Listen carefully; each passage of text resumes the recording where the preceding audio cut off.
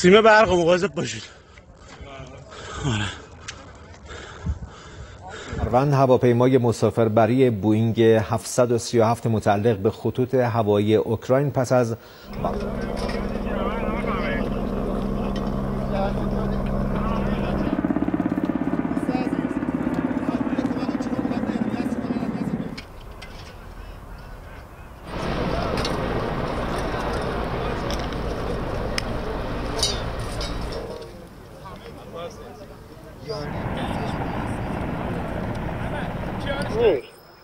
الان تمام مسافران اینجا هست.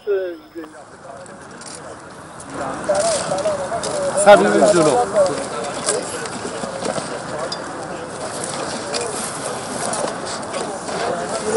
یکیش کنیم اینا رو بچه برید پیش هلیکوپتر. شما برید.